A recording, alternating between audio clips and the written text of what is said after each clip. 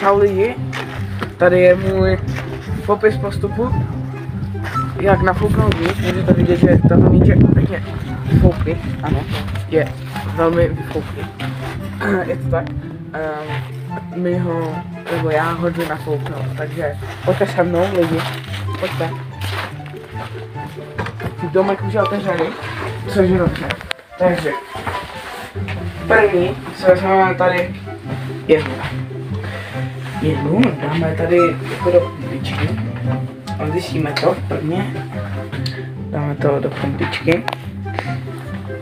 Zajistíme. Počkat, teď mi to vypadlo. Um, ale...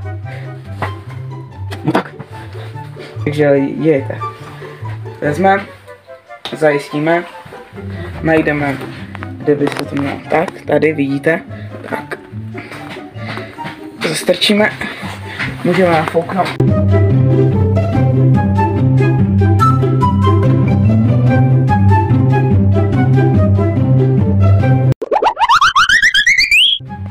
Takže míč máme nafouknutý a můžeme si vystřelit na branku.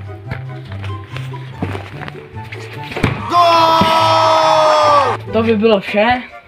Doufám, že se tenhle tutoriál všem líbil. Jestli ne, tak to nevadí. Doufám, že další video se vám líbit bude. Děkuji.